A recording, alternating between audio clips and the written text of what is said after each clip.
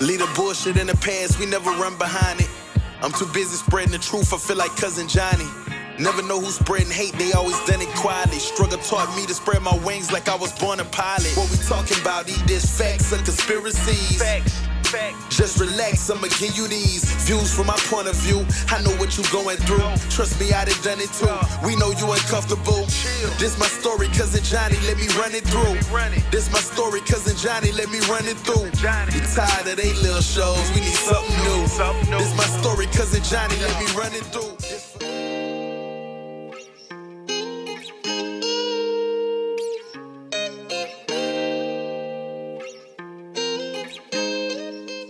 Y'all tuned in with the one and only Let's Talk with Cousin Johnny.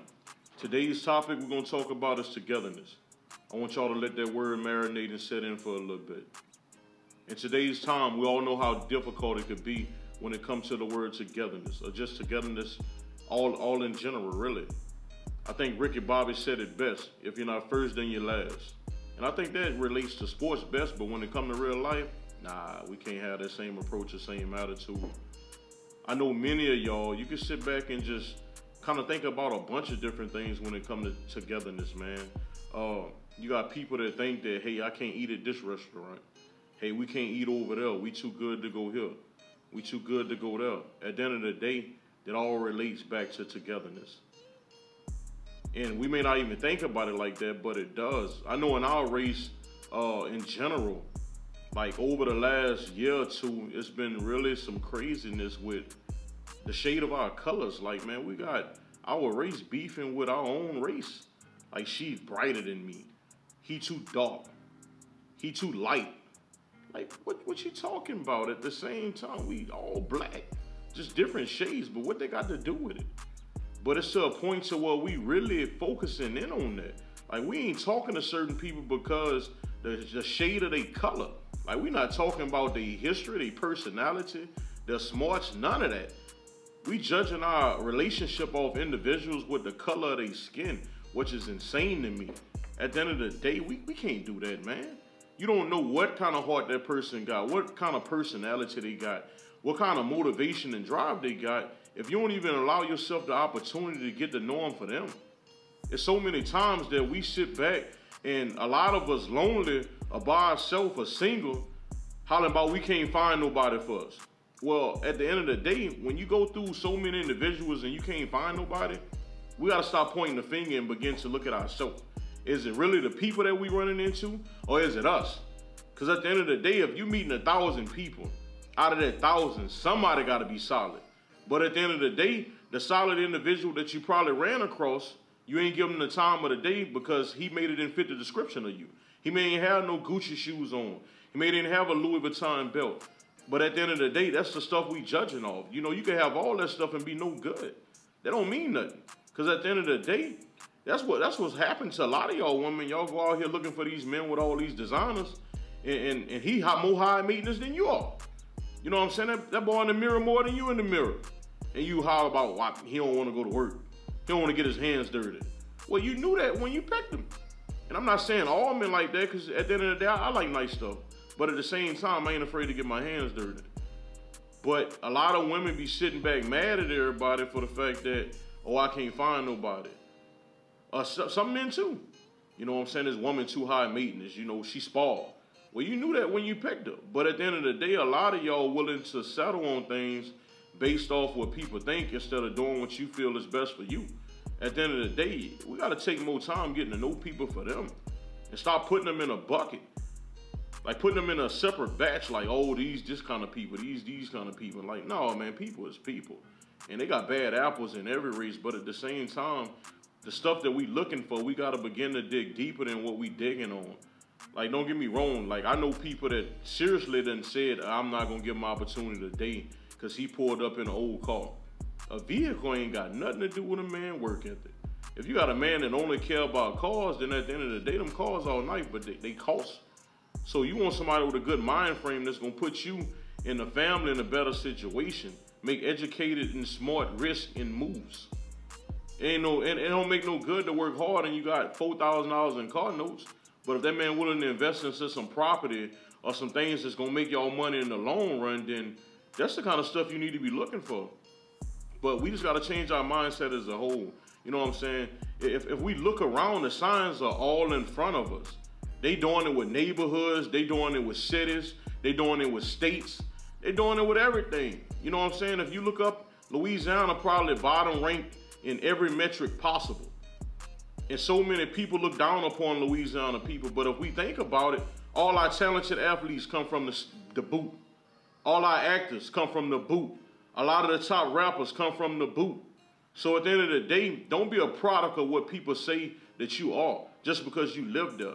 That ain't got nothing to do with it. Like to me, Louisiana got more opportunity than a lot of states because of the fact that so many. If you go to, let's say you cut hair, you go to Texas, you competing with so many people that cut hair and that's established. So if you ain't got no clientele, you ain't gonna make it there. But in Louisiana, it's so much opportunity for so many different businesses. We just got to do a better, uh, better job sticking together and just game planning and coming up with a solution to fix the state. And it ain't gonna happen overnight. And some people ain't gonna be on board with it, but it is what it is. But that's what I'm saying when I say the word togetherness. It comes to a point to where we gotta stick together. Even subdivisions. You have people that say, oh, he live over there, she live over there. They different kind of people. No, we people, regardless of where you stay. It don't matter the price of your house. They ain't got to do nothing with the person. Certain people just was dealt different cards, a, a bad set of hands than some other people were. Or they had to get it out the mud. But at the end of the day, they don't make them no less of people. But we got to get to the point to where we stop listening to that. You know what I'm saying? You, you, I didn't people say, I'm, I'm not going over there. That's a bad set of people because they live over there. What? How? Because of the perception? Because of what you see? I don't mean the people bad. They're just doing what they gotta do. Trust me, if they had a choice or opportunity to truly better their situation, I don't know many people that say, hey, I want to better my situation that don't try to better it. And it just take people longer than others. And I'm not gonna sit here and make excuse. There are people that that's content with where they at. And I ain't knocking that either. You know, different boats for, for different people. And at the end of the day, if they like it, I love it. But at the same time, what I'm saying is we got to stop pointing the finger and, and, and splitting up everything. Everything's split. Different parts of the city split. They said that's the bad side. You know, the world do a bad job. They, they, they split it up automatically. That's east, west, north, south. Like, come on, man. We people and we people. We got to stick together. And that's all I'm saying, man. I'm, I'm challenging everybody to just get to a point to where you wake up in the morning, you say, what can I do to bring people closer? If you see somebody that's struggling and need a lending hand, why not be the individual to, to, to give a lending hand and say, hey, I see you made these mistakes. I did that when I was younger. Let's try to do it this way. Hey, you need to try to do it this. I done had people truly, and they don't call no name, so I was trying to do different things, and I called and asked them, and I was like, hey, man, I need a little assistance on this. And they was like, man, I don't, I don't know how to do that. But you do the same thing I do, so what you mean you don't know how to do that? Like, it's enough money out here for everybody. We gotta stop thinking that if I teach somebody a skill that I know, at the end of the day, they may surpass me or they may get more money than I get. Quit doing that. I had somebody recently reach out to me and say, hey man, I'm interested in doing a podcast. Like, what do I need to get it started? Man, I gave them the breakdown from the startup to the equipment that they need to the steps that they needed to take. Like all that, because at the end of the day, I'm not hating on nobody, man. If they get it, they get it. And if I can help somebody, then I'm gonna do that. Because at the end of the day, that's just the kind of person I am. Like I'm not gonna hold nobody down. I'm not here to see me surpass everybody. If, if, if we can't all win as people, then what's the use of even doing it? I'm not trying to be in the upper echelon by myself and my people can't come. It don't make sense. But you had a lot of people there like that. They'll rather have it like that. They'll rather have that, that, that break in togetherness. They'll, they'll rather just have, it's me. As long as I got me, I'm good. Now that's a bad attitude to have. Because at the end of the day, who always say we're going to be at the top? What happened when you need at least a, a lending hand or somebody to assist you when you down? And everybody had the same main mentality. Then at that point, you're going to be in the same boat as everybody else. Like, it, it's fun when you're at the top, but sometimes, man, that, that ride down is, pooh. Then people let you know, like, hey, when you was up, you was up. You ain't look out for nobody else, but now you down. Now we don't know you. And you can't get mad at it. You ain't got no choice but to respect it because you saying you had the same mind frame and mentality when it came to assisting other people. So at the end of the day, we got to change, man. We got to understand that the only way we're gonna ever come up, especially as a race of people, is to stick together. We the only race that will not stick together. We will not assist our people. We will not lend out their helping hand. We will not watch them or help them come up. And that's crazy to me. And we sit there and we ask people like, why our race continue to be in the boat that we in? Why we continue to not come up? Why we continue to struggle? Well, I'm gonna ask everybody that's watching this. Ask yourself a question. What are you doing to help? At the end of the day, I'm not gonna sit here and act like I'm doing everything to help because I got things I need to work on and assist with the, the efforts as well. But what are we as people doing to better us as overall individuals? Like we gotta start waiting for people to save us. We we we've been seeing that that ain't gonna happen. They they ain't throwing no life rafts to us. So at that point, if they ain't throwing them, we gotta come together and throw them ourselves. So it's gonna take us to get our mind right and get motivated to the cause and do whatever we got to do and come together. Us as people is very knowledgeable and we know so much stuff, but at the same time, we ain't spreading the knowledge. I know people that know a lot, but they ain't spreading the knowledge. All I hear is what I hear in the background on police sirens. Every day, all day. Like, come on, man. Let's help one another. Let's get out there and challenge one another to be better people every day. Every day you wake up, strive to be a better person. Strive to take somebody underneath your wing and show them something. Somebody once told me that assume that they know nothing. That's the best mentality to have. Assume that they don't know. Because we expect things out of people that may not know what we want or may not even know how to do it. So if you're going to expect somebody individual, show them how to get there. Like what have you done to uh, educate them? What have you done to give them resources and tools to be successful? At that point, when you give them that and they still ain't getting it done, and at that point, you did your job. And you can sleep good at night, knowing I did whatever I can to help this individual. But at the same time, us as people, we want to say just got to get up and make it happen. Some people don't know how to make it happen, so we need some tools to show them how to make it happen. We need some tools to educate them on how to get it done.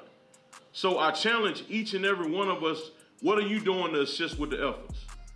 Like, what can we do better? As people to bring one another together and, and finally end this issue that we continue to have decade after decade, century after century. Like we gotta fix it. So at that point, I'm gonna challenge everybody. When you watch this, think to yourself, what can I do to help? What can I do to bring togetherness together? Like what can I do to pull my race together? Let that ponder. Think on that. But for the next episode, man, y'all tune in. You with the one and only, man. Let's get it.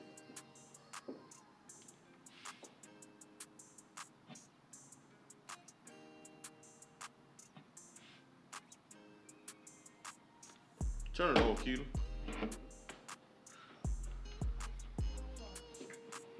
Little.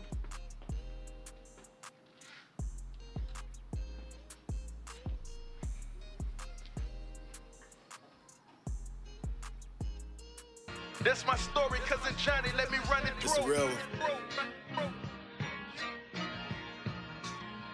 Yeah. Leave the bullshit in the past, we never run behind it. I'm too busy spreading the truth, I feel like cousin Johnny. Never know who's spreading hate, they always done it quietly. Struggle taught me to spread.